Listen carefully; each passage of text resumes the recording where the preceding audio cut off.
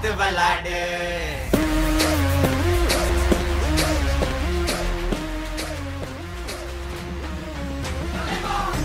வணக்கம் நண்பா நீங்கள் இப்போ தான் நம்ம சேனலை பார்க்குறீங்கன்னா சப்ஸ்கிரைப் பண்ணி வச்சுக்கோங்க. பக்கத்துலேயே ஒரு பெல் பட்டன் இருக்கும். கிளிக் பண்ணி ஆள் கொடுத்தீங்கன்னா நாங்கள் போடுற மூவி ரிவ்யூஸ் மூவி சஜஷன்ஸ் எல்லாமே வந்து உங்களுக்கு உடனடியாக வந்து சேரும்.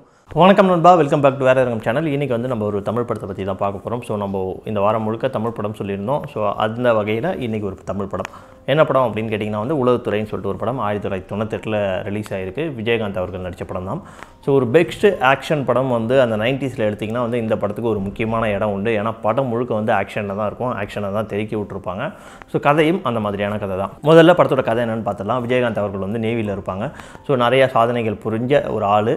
ரொம்ப நேர்மையாக இருக்கிற ஒரு ஆள். ஸோ அவருக்கு வந்து ஒரு பிரச்சனை ஏற்படுது. அந்த பிரச்சனையால் என்ன பண்ணுறாருன்னா அந்த நேவியிலேருந்து வெளியே வராரு வெளியே வந்து தன்னோட ஊர் நேம் எல்லாத்தையும் மாற்றிக்கிட்டு வேற ஒரு இடத்துல தன் அம்மாவோட ஒரு வாழ்க்கையை வாழ்ந்துகிட்டு இருக்காரு. அவர் ஏன் வந்து அந்த நேவி வேலையை விட்டார் அப்படின்றது ஒரு ஃப்ளாஷ்பேக் அதை ஃபஸ்ட்டே சொல்லிடுவாங்க. எப்பயுமே பழைய படத்தில் என்ன ஆகுனா வந்து கடைசியாக தான் வந்து ஃப்ளாஷ்பேக் இருக்கும். இந்த படத்தை பொறுத்த வரைக்கும் அந்த ஃபஸ்ட்டே அந்த ஃப்ளாஷ்பேக் முடிஞ்சிடும் ஸோ அந்த ஃப்ளாஷ்பேக்கை நான் சொல்ல விரும்பல. ஏன்னா அதை சொல்லிட்டாவே உங்களுக்கு பாதி கதையை சொன்ன மாதிரி ஆகிடும் ஸோ அதனால் அந்த ஃபஸ்ட்டு ஃப்ளாஷ்பேக்கு நேவியை விட்டு ஏன் வெளியே வந்தார் அப்படின்னு ஒரு விஷயத்த சொல்லியிருப்பாங்க. அது வந்து ஃபஸ்ட்டு ஒரு முப்பது நாற்பது நிமிஷத்துலேயே வந்துடும் ஸோ அதை நீங்கள் பார்த்து தெரிஞ்சுக்கோங்க. இதுக்கப்புறம் என்ன நடக்கும்ன்றத சொல்கிறேன் ஃபஸ்ட்டு சீனில் என்ன காமிச்சிருப்பாங்கன்னா ஒரு கப்பல் வந்து முழுகிற மாதிரி காமிச்சிருப்பாங்க. ஸோ அந்த கப்பல்கிட்ட போகிற ஆளுங்க எல்லாம் இறந்துருவாங்க. இந்த விஷயத்தை தான் ஃபஸ்ட்டு ஒரு டென் டு ஃபிஃப்டீன் மினிட்ஸில் இந்த விஷயத்தை கவர் பண்ணியிருப்பாங்க. ஸோ அந்த கப்பலில் என்ன இருக்குன்னு தெரியாது. ஸோ ஒரு கட்டத்தில் என்ன ஆகும்னா வந்து ஒரு மீனவர்களை விட்டு அந்த இடத்துல என்ன இருக்குன்னு பார்க்கலாம் அப்படின்ற மாதிரி ஒரு ஒரு முயற்சி எடுப்பாங்க. பட் ஆனால் போன மீனவர்கள் அத்தனை பேர் இறந்துருவாங்க. கடற்படை அதிகாரிகள் எல்லாம் சேர்ந்து என்ன முடிவு எடுக்கிறாங்கன்னா வந்து இந்த விஷயத்தை ஹேண்டில் பண்ணுறதுக்கு ஒரு திறமையான அதிகாரி வேணும்னு சொல்லிட்டு தேடுறாங்க. ஸோ அப்போ தான் வந்து என்ன நடக்குது அப்படின்னா கொல்கத்தாவில் விஜயகாந்த் அவர்கள் வந்து நேவியில் இருந்தது தெரிய வருது. ஸோ அவரை தேடி போகணும் அப்படின்ற மாதிரி ஒரு முயற்சி பண்ணுறாங்க ஸோ கொல்கத்தாவுக்கும் வந்து ஒரு இன்டிமேஷன் கொடுக்குறாங்க. பட் ஆனால் அங்கேருந்து என்ன பதில் வருதுன்னா அவர் வேலைக்கு வந்து ரொம்ப நாள் ஆச்சு. நாங்கள் அவர் தேடிக்கிட்டு தான் இருக்கோம். அவர் எங்கே இருக்கான்னு தெரியல அப்படின்ற மாதிரி ஒரு முற்றுப்புள்ளி வைக்கிறாங்க. ஸோ என்ன நடக்குதுன்னா இங்கே இருக்க அதிகாரிங்க வந்து அவரை தேட ஆரம்பிக்கிறாங்க. விஜயகாந்த் வந்து எங்கே இருக்கார் அப்படின்னு சொல்லி தேட ஆரம்பிக்கிறாங்க. ஸோ அந்த தேடலில் வந்து ஒரு இடத்துல அவர் இருக்கிறது தெரியுது. அங்கே போய் அவர்கிட்ட வந்து கேட்குறாங்க இந்த மாதிரி இந்த விஷயம் இருக்குது நீங்கள் வரணும் அப்படின்ற மாதிரி சொல்கிறாங்க விஜயகாந்த் அவர்கள் என்ன சொல்கிறாருன்னா நீங்கள் நினைக்கிற ஆள் நான் இல்லை. ஸோ என்னை விட்டுடுங்க அப்படின்ற மாதிரி சொல்லிட்டு வேலையை பார்க்க ஆரம்பிக்கிறாரு. ஒரு கட்டத்தில் வந்து விஜயகாந்த் சரோட அம்மாவை கடத்தி வச்சுக்கிட்டு மிரட்டுறாங்க. அப்போ வந்து உண்மையை ஒத்துக்கிறாரு. ஸோ நான் தான் அந்த ஆளுன்ற மாதிரி உண்மையை ஒத்துக்கிறாரு. அதுக்கப்புறம் விஷயத்த சொல்கிறாங்க இந்த மாதிரி ஒரு கப்பல் இருக்குது அந்த இடத்துக்கு போனவங்களாம் இறந்துடுறாங்க. ஸோ இதை பற்றி ஒரு விசாரணை நடத்தணும்.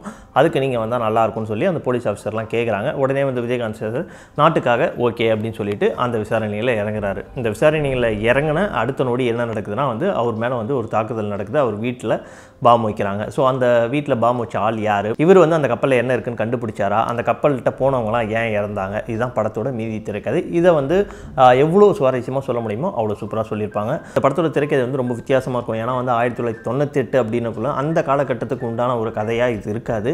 ஸோ இது வந்து கொஞ்சம் ஒரு அட்வான்ஸாக எடுக்கப்பட்ட படம் சொல்லலாம். அதே சமயம் வந்து எல்லா படத்துலையுமே வந்து அந்த ஃப்ளாஷ்பேக் அப்படின்ற ஒரு விஷயத்தை வந்து கடைசியாக கொண்டு போய் வைக்கிற நிலமையில இந்த படத்தை பொறுத்த வரைக்கும் அந்த ஃப்ளாஷ்பேக்கை ஃபஸ்ட்டே வச்சிருப்பாங்க. ஸோ மீனா அவர்கள் தான் வந்து கூட நடிச்சிருப்பாங்க. அந்த சீக்வன்ஸ்லாம் வந்து ரொம்ப சூப்பராக இருக்கும். அந்த ஃப்ளாஷ்பேக் வந்து கொஞ்சம் ஒத்துக்கிற மாதிரி இருக்கும். ஏன்னா நிறைய படங்களில் வந்து அந்த ஃப்ளாஷ்பேக்ன்ற விஷயம் வந்து ஒரு கடமைக்காக இருக்கும். பட் ஆனால் இந்த படத்தில் வந்து அந்த திரைக்கதைக்கு மாதிரி ஒரு ஃப்ளாஷ்பேக் இருக்கும். அது ரொம்பவே சூப்பராக இருக்கும்.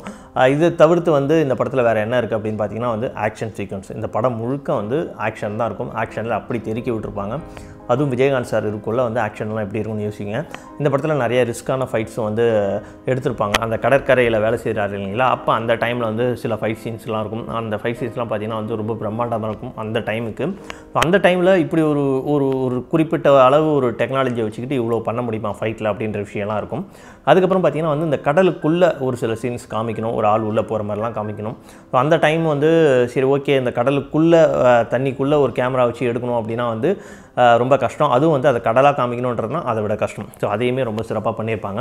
ஸோ இந்த படத்தில் நமக்கு பிடிச்ச சீன்ஸ் ஒரு நாலஞ்சு சீன் இருக்குது அதை மட்டும் சொல்லிடுறேன் நான். விஜயகாந்த் சார் அந்த கப்பலை பற்றி விசாரிக்க ஆரம்பித்தேன் கொஞ்ச நேரத்திலே வந்து அங்கே சுற்றி நடக்கிற விஷயங்களை கண்டுபிடிச்சிருவாரு. அந்த கடற்கரையில் ஒரு பைத்தியக்காரன் இருப்பான். அவன் யாருன்னு கண்டுபிடிச்சிருவாரு. கடற்படை அதிகாரிக்குள்ளேயே வந்து ஒருத்தன் கெட்டவன் இருப்பான். அவன் யாருன்னு கண்டுபிடிச்சிருவார். ஸோ இந்த விஷயம்லாம் வந்து ரொம்ப சூப்பராக கண்டுபிடிப்பார்.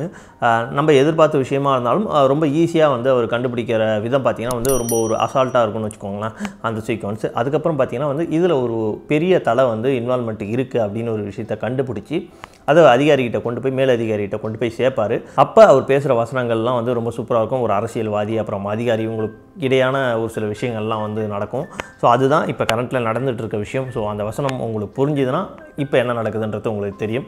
அதுக்கப்புறம் பார்த்தீங்கன்னா வந்து விஜயகாந்த் சாரோட வசனங்கள். எப்பயுமே வந்து விஜயகாந்த் சார்னால் வந்து ஒரு லென்த்தியான வசனங்கள் இருக்கும் படத்தில் அப்படின்றத நம்ம எதிர்பார்க்குற விஷயம். ஸோ அது இந்த படத்தில் வந்து ஒரு ரெண்டு மூணு இடத்துல இருக்கும். அந்த ரெண்டு மூணு இடத்துலையும் அவர் பேசுகிற லென்த்தியான வசனங்கள் எல்லாமே வந்து சூப்பராக இருக்கும். ஸோ ஒரே டேக்கில் எடுத்த மாதிரியே இருக்கும். அது நீங்கள் படம் பார்க்கக்குள்ள அந்த லென்த்தியான வசனங்களை நல்லா கவனிச்சு பாருங்கள் உங்களுக்கு புரியும். அதில் என்னென்ன விஷயங்கள் இருக்குது எவ்வளோ விஷயங்களை வந்து ரொம்ப ஓப்பனாக சொல்லியிருக்காங்க அப்படின்ற விஷயம் தெரியும். அதுக்கப்புறம் இந்த படத்தோட கிளைமேக்ஸ் நம்ம எதிர்பார்த்த கிளைமேக்ஸ் தான் பட் ஆனால் கிளைமேக்ஸில் ஒரு சின்ன சின்ன ட்விஸ்ட் வச்சிருப்பாங்க அதை நீங்கள் படம் பார்த்தீங்கன்னா உங்களுக்கு புரியும். அதுக்கப்புறம் வந்து ராதா ரவி சார் வந்து ஒரு அரசியல்வாதி கேரக்டரில் பண்ணியிருப்பார். ஸோ அவர் கேரக்டர் பார்த்தீங்கன்னா வந்து ஒரு கடைசி கொஞ்சம் நேரத்தில் தான் வரும். ஆனால் அந்த கொஞ்ச நேரத்துலையுமே வந்து அவர் மிரட்டிட்டு போயிருப்பார். ஸோ அவரோட நடிப்பும் எனக்கு பர்சனலாக இந்த படத்தில் ரொம்ப பிடிச்சிருந்துச்சு. அதுக்கப்புறம் இந்த படத்தில் எனக்கு டேரக்டர் ரொம்ப பிடிக்கும். ஏன்னா வந்து ஒரு ஒரு இக்கட்டான ஒரு சப்ஜெக்ட் இது. இந்த சப்ஜெக்ட் எடுத்தோம்னா கரெக்டாக அவுட்புட் கொடுக்கணும் இல்லைனா வந்து சொதப்பிடும். ஏன்னா ஒரு சில விஷயங்கள் வந்து நம்ம ஒரு நடக்காத விஷயத்துக்கு ஆப்போசிட்டாக ஒரு விஷயம் சொல்லக்குள்ளே வந்து அது நடக்கிற மாதிரி காமிக்கணும். ஸோ அந்த விஷயங்கள்லாம் ரொம்ப சூப்பராக கையாண்டிருப்பாங்க.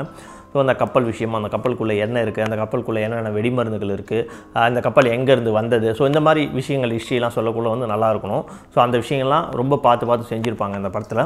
அப்புறம் இந்த படத்தோட பேக்ரவுண்ட் மியூசிக் அந்த பேக்ரவுண்ட் மியூசிக் பார்த்திங்கன்னா அந்த படத்தில் ரொம்ப ஆவரேஜாக தான் இருக்கும். பாடல்களுமே வந்து ரொம்ப ஆவரேஜாக தான் இருக்கும். ஆனால் அந்த படத்தோட திரைக்கதை ஃபாஸ்ட்டுக்கு இதெல்லாம் வந்து நம்ம கண்ணுக்கு தெரியாது. சில குறைகள் இருந்தாலும் அந்த விஷயங்கள்லாம் தெரியாது.